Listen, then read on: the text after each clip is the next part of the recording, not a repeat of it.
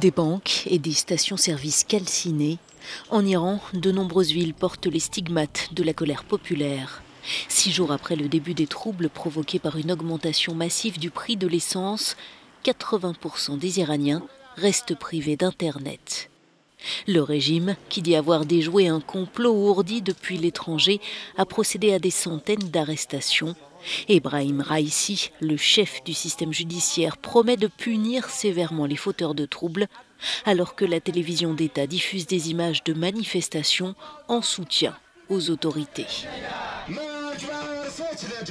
Le Bureau des droits de l'homme des Nations Unies évoque des tirs à balles réelles contre les manifestants anti-régime et Amnesty International estime à 115 au moins le nombre de morts parmi les civils. Mais la chape de plomb est telle qu'il est difficile d'établir un bilan précis.